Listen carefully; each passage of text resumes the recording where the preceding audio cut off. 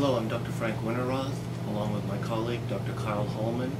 We're with the University of Michigan's Department of Biomedical Engineering and SoundSight Research in Livonia, Michigan.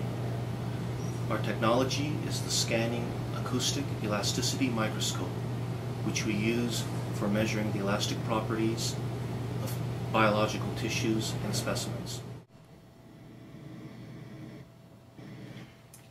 What is seen here is a typical radio frequency image coming from the microscope during a typical scan of a material. Upon completing the entire scan of the material, a 3D composite is produced. This will allow us to quantify both the structure and physical properties of the specimen that was scanned in all three axes. The benefits of ultrasonic imaging include being non-invasive, non-destructive, and not requiring any pre-treatment of the specimens being examined. This makes it a very efficient, cost-effective tool for material and patient diagnoses. What is seen here exemplifies a typical scanning procedure involving the acoustic microscope.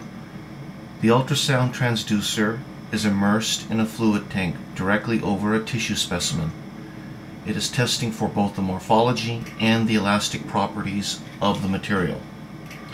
In a like manner, the transducer can scan over a patient's eyes after they've undergone local or general anesthesia in order to screen for LASIK treatment and also to diagnose for keratoconus and other vision disorders.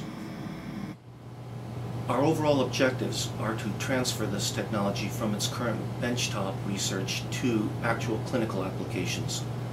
These include improving LASIK screening methods that are currently employed, thus minimizing surgical retreatments.